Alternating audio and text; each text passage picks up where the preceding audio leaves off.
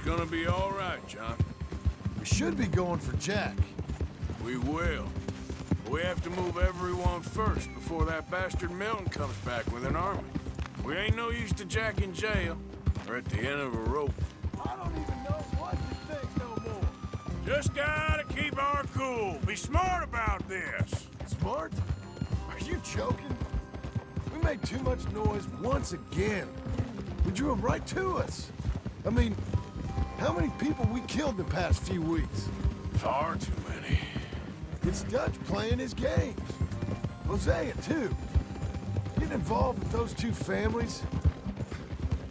Master con men working their magic. They thought there was a lot of gold. Yeah, they thought there was money. Ain't there always? Look, Marston, I don't know what to tell you. Things don't always work out. That ain't nothing new. Jack's gone. We lost Sean, Mac, Davy, Jenny. And for what?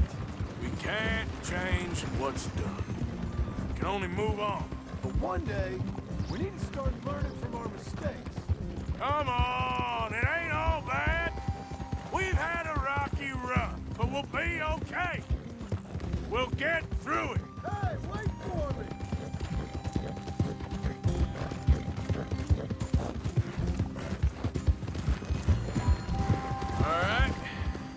just down this path to the left here.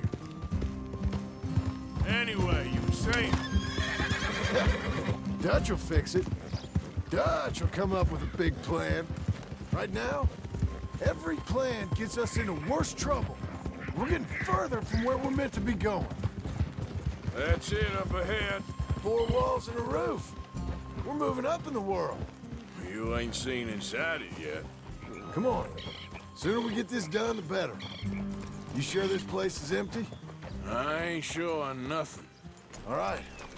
Let's leave the horses here and take a look.